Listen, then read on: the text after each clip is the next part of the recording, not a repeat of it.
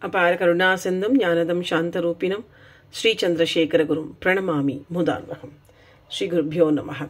கருணை கடலாம் காஞ்சி மகாபரிவா. அவர் நிகழ்த்தி காட்டிய நிகழ்த்தி காட்டி கொண்டிருக்கும் சில அனுகிரக விசேஷங்களையும் வைபவங்களையும் பார்த்து வருகிறோம். அந்த வரிசையில் இன்று. பெரிவாளுடைய ஒரு பக்தை. பக்தைனா எப்படின்னா அந்த காலத்தில் கிருஷ்ணனோட கோபிகைகள்லாம் எப்படி இருந்தா? எப்படி கிருஷ்ணா கிருஷ்ணான்னு உருகின்றிருந்தாலோ அந்த மாதிரி இவாளை சொல்லலாம். பேர் நாகலக்ஷ்மின்னு பேர். பாம்பேயில் பாம்பேயில் இருந்தால் மும்பையில் நாகலக்ஷ்மின்னே பேர் அந்த மாமிக்கு.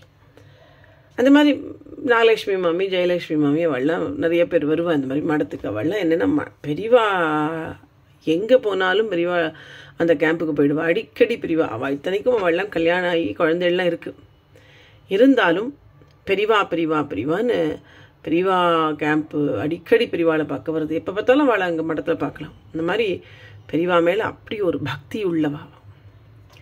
அந்த நாகலட்சுமி மாமி என்ன பண்ணுறா ஒரு தரம் வந்து பெரியவாள்கிட்ட சொல்கிறா இந்த மாதிரி அவர் மாமியோட தம்பியோ அண்ணாவோ அவர் வந்து பாம்பேயில் இருந்திருக்கார். ஐஓசிஎல்லையே ஏதோ வேலை. என்ன பண்ணிட்டார்? விஆர்எஸ் வாங்கிட்டார் ஏன்னோ போரும்னு நினச்சி விஆர்எஸ் வாங்கிட்டாரோ என்னமோ தெரியல. விஆர்எஸ் திடீர்னு வாங்கின்னு விட்டார். விஆர்எஸ் வாங்கிட்டு அவர் ஏதோ வேலையாக சென்னைக்கு வந்திருக்கார். சென்னைக்கு வந்த இடத்துல அவருக்கு ஹார்ட் அட்டாக் வந்திருக்கு. ஹாஸ்பிட்டலில் அட்மிட் பண்ணியிருக்கா.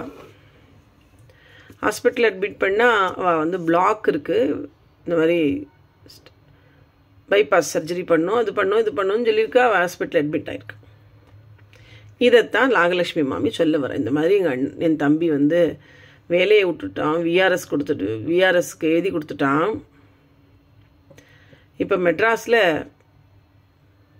அட்மிட் ஆயிருக்கேன் மெட்ராஸில் விஜய் ஹாஸ்பிட்டல் என்னோ தெரில அது விஜய் ஹாஸ்பிட்டல் என்னோ தெரில அட்மிட் ஆயிருக்கார்.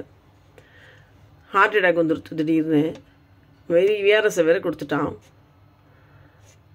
உடம்பு திடீர்னு ஹார்ட் அட்டாக் வந்துடுத்து அட்மிட் ஆயிருக்கு. பெரியவா தான் அனுகிரகம் பண்ணணும்னு அந்த மாமி கேட்குறான் பெரியவா அவனுக்கு இப்போ இப்போ எப்படி இருக்குது யார் பார்த்துக்கிறா அப்படின்லாம் எதுவுமே கேட்கல விஆர்எஸ் எழுதி கொடுத்தானே அதை அவள் அக்செப்ட் பண்ணிட்டாளா அப்படின்னு முதல் கேள்வி கேட்குறா தெரியல எனக்கு.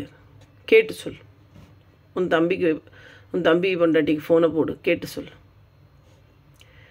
உடனே அவள் கேட்குறா அவள் தம்பி பொண்டாட்டிகிட்டே என்னமோ தெரியல அவள் சொல்கிறா எனக்கும் தெரியலேங்கிறா. சரி அந்த ஆஃபீஸ் நோம் நம்பரை வாங்குங்கிறா பெரியவா. இத்தனையும் பண்ணுறான் ஆஃபீஸ் நம் மடத்து ஆஃபீஸ்லேருந்து மேனேஜரை விட்டு அந்த கம்பெனிக்கு ஃபோன் பண்ணுறான் பெரியவாவே இப்போ இந்த ஆஃபீஸ் பக்கமே போய் உட்காந்துட்டான் மடத்து ஆஃபீஸ் பக்கமே ஃபோன் போடுறான் ஃபோன் போட்டு மேனேஜர் பேசுகிறார் இந்த மாதிரி நாங்கள் வந்து இவா எம்ப்ளாயின்னு சொல்லிட்டு அவள் விஆர்எஸ் லெட்ரு கொடுத்துருந்தா.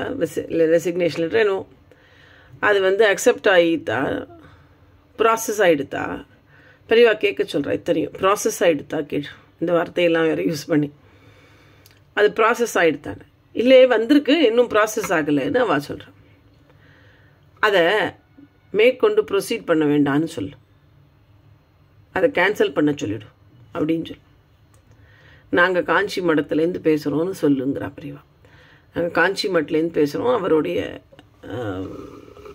மடத்து மேனேஜர் பேசுகிறேன் அவருக்கு ஹார்ட் வந்திருக்கு. இந்த மாதிரி அந்த விஆர்எஸை நீங்கள் தயவு செஞ்சு கேன்சல் பண்ணிவிடுங்க பெரியவா சொல்ல சொன்னானே சொல்கிறேன் ஓஎஸ் ஓகேன்றா அவள் அவள் ஆஃபீஸில் எப்படியோ தெரியல.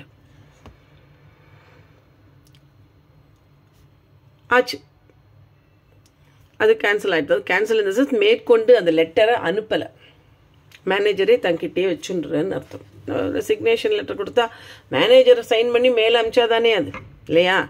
அது வரைக்கும் அது அன்அஃபிஷியல் தானே. அது மாதிரி அவரே நீங்களே இது பண்ணிடுங்க. நீங்கள் மேற்கொண்டு அனுப்பாதீங்கன்னு சொல்லிடுறா. சரின்றார் அந்த மேனேஜர் இதத்தனையும் நடந்துருது நடந்துருது. அப்புறம் சரி உன்னை பெரியவா அந்த நாகலட்சுமி பிரசாதத்தை கொடுத்து போ. போய் என் தம்பியை பார்த்துக்கோ.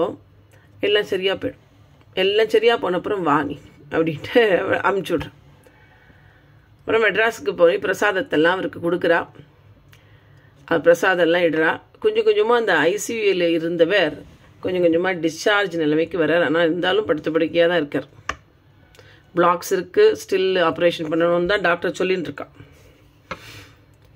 அப்போ அவர் சொல்கிறார் விஆர்எஸ் கேன்சல் ஆனது இவருக்கு விஷயம் தெரியறது. இந்த மாதிரி விஆர்எஸ் கேன்சல் பண்ணியாச்சுன்னு பெரியவா பண்ண சொல்லிட்டாங்க. சரி நல்லதாக போச்சுன்னு இவரும் நினச்சிக்கிறார். சரி பாம்பேக்கே போய் அங்கே ஹாஸ்பிட்டலில் ட்ரீட்மெண்ட் பண்ணிக்கலாம் பாம்பேக்கு போயிடலான்ட்டு அவர் சொல்லிடுறார். போகிற வழியில் பெரிவாளை பார்க்கலான்ட்டு பெரிவாளை காமிச்சிட்டும் அவர் பெரிவாளும் அவருக்கு பிரசாதத்தை கொடுக்குறாரு. அப்படியே பாம்பேக்கு கைஷன் போயிடுறா அவர். ஏன்னா இவருக்கு தெரியும் பாம்பே விஆர்எஸ் கேன்சல் ஆகிட்டு இவருக்கு ஆஃபீஸ் போய் ஆகணும். சரி பாம்பே ஹாஸ்பிட்டலில் போய் இவருக்கு வந்து செக் பண்ணலாம். இவருக்கு ஃபர்தராக ஏதோ பைபாஸ் பண்ண சொன்னாலே என்ன ஆகுதுன்னு தெரியலேங்கிறதுக்காக பாம்பே ஆஃபீஸில் பாம்பே ஹாஸ்பிட்டலில் செக் பண்ணுறான் பாம்பேயில் ஒரு ஹாஸ்பிட்டலில் செக் பண்ணும்பொழுது அவா சொல்கிறா இன்னொரு தரம் எல்லாம் ஸ்கேன் பண்ணி எல்லாம் பண்ணுறான் அவருடைய ஹார்ட்டுக்கு என்ன உண்டோ? அந்த இசிஜி எல்லாம் எல்லாம் என்னெல்லாமோ எடுப்போம் இல்லையா? அதெல்லாம் பார்த்துட்டு பைபாஸும் வேண்டாம் கீபாஸும் வேண்டான்றா அவள் இல்லை மெடிசின்ஸ்லேயே சரி பண்ணிடலாம். பிளாக் இருக்குது இல்லைன்னு சொல்லலை. இதுக்கு ஆப்ரேஷன் தேவையில்லை. மெடிசின்ஸ்லேயே க்யூர் பண்ணலாம் அப்படின்னு சொல்லிடுறாங்க. அவளுக்கு ரொம்ப சந்தோஷமாயிடுறது. அதுக்கப்புறம் அந்த விஆர்எஸ் கேன்சர் ஆனதுனால ஆஃபீஸ் போகிறார் விஆர்எஸை ப்ராசஸ் பண்ணாமல் விட்டது எது? எவ்வளோ நல்லதுன்னா இவருடைய மெடிக்கல் எக்ஸ்பென்சஸ் மெட்ராஸில் விஜயாவில் பார்த்தது கூட அவள் ஆஃபீஸில் ரீஎம்பர்ஸ்மெண்ட் கொடுத்துட்றா. ஏன்னா இவர் ரெசிக்னேஷன் லெட்டர் போய் சேரல. பாதியிலே நின்றுடுது இல்லையா? அதனால் அவர் அசைச்ச லீவில் இருந்த மாதிரி கணக்கு கணக்காகி அவருக்கு மெடிக்கல் ரீஎம்பர்ஸ்மெண்ட் கூட கிடச்சி விட்றது அந்த அளவுக்கு பெரியவா அவ்வளோ சௌஜன்யம் பண்ணி கொடுக்குறா அவருக்கு. அதுக்கு தான் முதல்ல அடிச்சுக்கிறா பெரியவா விஆர்எஸ் கேன்சல் ஆகிடுத்தா கேழு ப்ராசஸ்க்கு அனுப்பாதேன்னு சொல்லுன்னு முதல்ல ஆக்ஷன் எடுத்தது பெரியவா. பாருங்க எத்தனை ஒரு மூளையோட இந்த வேலையை பெரியவா வந்து விஆர்எஸை கேன்சல் பண்ணி ஏன்னா இவருக்கு வேண்டியிருக்கும். எனக்கு ஃபர்தராக வேலை செய்ய வேண்டியிருக்கும். சம்பளம் தேவைப்படும். அவர் என்னவோ நினச்சிட்டு நமக்கு போகிறோம் அப்படிங்கிற மாதிரி ரிசைன் பண்ண பண்ணலாம் விஆர்எஸ் பண்ணுறதுலான்னு கொடுத்துட்டு ஆனால் இவருக்கு இந்த மாதிரி உடம்பு இருக்குது இந்த மாதிரி மெடிசின்ஸ் எல்லாம் தேவைப்படுங்கிறது இவருக்கு திடீர்னு உடம்புக்கு வந்தோடனே நம்ம என்னடா விற்கிற வேலையும் விட்டுட்டோம்னு தோணும் இல்லையா? இப்போ அந்த சேஃபாக அவருக்கு வேலை இருக்கிறது பெரிவாக பண்ணி கொடுத்தது ரொம்ப சௌஜன்யமாக போயிடுது. அதுதான் அதுதான் அந்த பெரிவா எங்கேயோ சொர்க்க இதில் இந்த இந்த வைகுண்டத்துலேருந்து வந்து பகவானுக்கு வேணால் தெரியாமல் இருக்கலாம். ஆனால் பெரிவா நம்மளோட நம்மளாக வாழ்ந்து நம்ம கஷ்டங்களை தன் கஷ்டமாக உணர்ந்து அவர் வந்து நம்ம ஆத்து மனுஷா எப்படி ஒரு ஆக்ஷன் எடுப்பாரோ அப்படி எடுத்திருக்கார் பாருங்க அவருடைய ஃபேமிலியில் அதுதான் பெரியவாங்கிறது. அதுதான் பெரியவா. பெரியவாளுடைய அந்த சமயோஜித புத்தி.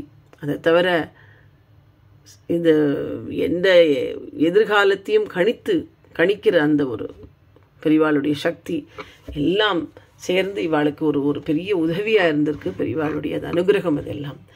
ஹரஹர சங்கரா ஜெய் ஜெய் சங்கரா. ஹரஹர சங்கரா ஜெய் ஜெய் சங்கரா. சந்திரசேகர பாகிமாம் சந்திரசேகர ரக்ஷமா